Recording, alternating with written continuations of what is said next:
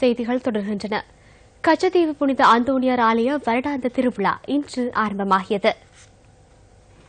ஒவ்வொரு வருடமும் மார்ச் மாதம் கச்சத்தீவு புனித அந்தோணியார் ஆலயத்தின் வருடாந்த திருவிழா நடைபெறுகின்றமை வழமையாகும். கச்சத்தீவு புனித அந்தோணியார் ஆலய வருடாந்த திருவிழா இன்று மாலை கொடியேற்றத்துடன் ஆரம்பமாகியது. கொடியேற்றத்தை அடுத்து தவக்கால சிலுவை பாதை தியானம் திருப்பலி நட்கருணை ஆராதனை மற்றும் திருச்சுரூப பவனி ஆகியன இடம்பெற்றன. நாளை காலை ஏழு மணிக்கு யாழ் மறைமாவட்ட ஆயர் ஜஸ்டின் ஞானபிரகாசம் ஆண்டகையின் தலைமையில் திருவிழா திருப்பலி ஒப்புக் கொடுக்கப்பட உள்ளது